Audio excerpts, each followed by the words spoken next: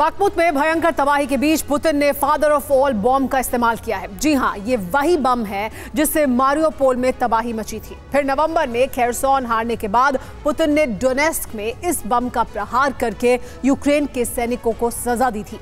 अब बागमुत में दम घोटकर मौत देने वाले इस वैक्यूम बॉम्ब का धमाका हुआ है।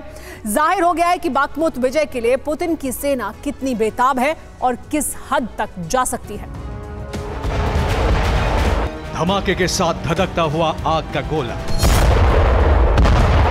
हवा में दहकता हुआ बवंडर ज्वालामुखी की तरह निकलता है काला धुआँ। और हर ब्लास्ट के बाद कांपने लगती है ज़मीन। ये रूस का एक बेहद घातक बम है। दुनिया में इस बम के इस्तेमाल पर पाबंदी है। लेकिन जब जब पुतिन के दिमाग में गुस्से और बौखलाहट का तूफ़ान। अचार सिर्फ़ खाने के लिए ही नहीं है कमाने के लिए भी है। ये अचार के बिज़नेस करके महीने के पाँच लाख कमा रहे हैं। आपको भी ये करना है तो फ्रीडम ऐप को अभी डाउनलोड कीजिए। आया है। यूक्रेन इस बम के प्रहार से छलनी छलनी हुआ है।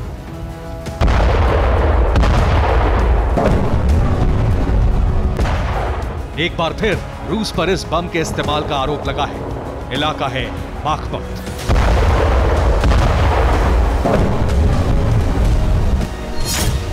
हवा सोखने वाला बम तड़पाकर घोटता है दम। हवा को जलाने और इंसान को तड़पाने वाले इस बम का नाम है थर्मोबैरिक बम। इसे वैक्यूम बम, एरोसोल बम या फ्यूल एयर बम भी कहा जाता है।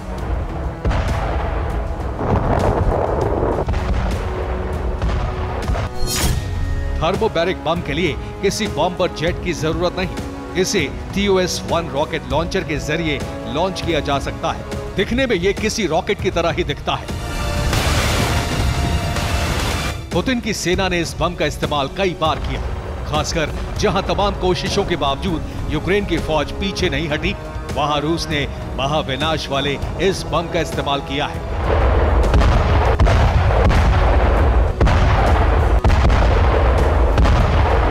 बाखमुत से पहले डोनस्क में ही इस बम का प्रहार हुआ था। मारियोपोल के स्टील प्लांट में जब लंबे समय तक रूस की सेना को कामयाबी नहीं मिली, तब भी थर्मोबैरिक बमों का धमाका हुआ था। बाखमुत में रूस की सेना ने फाइनल असॉल्ट कर दिया है।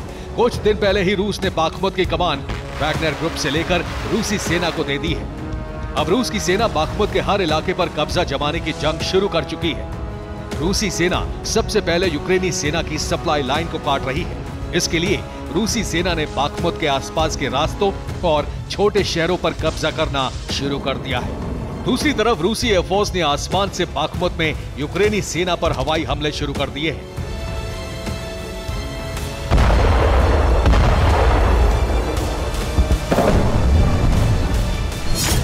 सोलेडर का प्रशासन रूस के हाथों में गया। डीपीआर के एक्टिंग हेड सोलेडर संभालेंगे। सोलेडर पर रूस का पूरी तरह से कब्जा।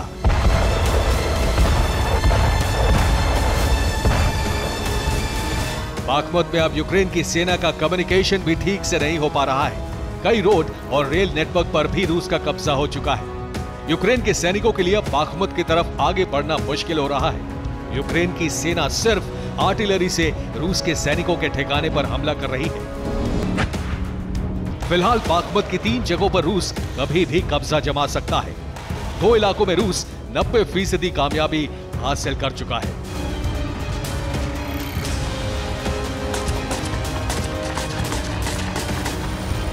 रिपोर्ट के मुताबिक बागमत के कुछ इलाकों से यूक्रेन की सेना लौटने भी लगी है। यूक्रेनी कमांडर्स ने जेलेंस्की के साथ मीटिंग की है और कुछ इलाकों को छोड़ने पर सहमति बनी है। हालाँकि, यूक्रेन लगातार बागमत में पलटवार के दावे कर रहा है और वीडियो जारी कर रहा है। वीडियो में देखिए, बागमत के बाहरी इलाकों में BM twenty one Grad multi rocket launchers की तैनाती है। रशियन ठिकानों पर लगातार रॉकेट से हमले किए जा रहे हैं। बर्फीली ज़मीन और कड़ाके की ठंड में यूक्रेन की सेना रशियन फोर्स का सामना कर रही है।